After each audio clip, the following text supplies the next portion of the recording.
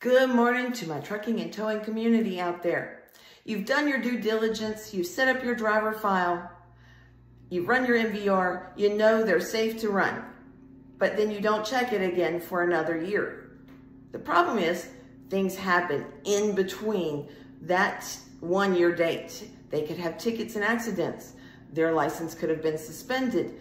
You could have forgotten to make sure their medical card was up to date. It expired and their CDL got downgraded. We have services to monitor their MVRs so that we get alerts as soon as a ticket hits their MVR, as well as if their CDL is downgraded. We highly recommend using these services when you have multiple trucks on the road so that you are not caught in a situation where the driver is on the side of the road with an officer and you're finding out for the first time that their CDL has been downgraded. If you're interested in those services, reach out to us. We have all kinds of tools and tricks to help make sure you remain profitable and don't have surprises that catch you with your pants down.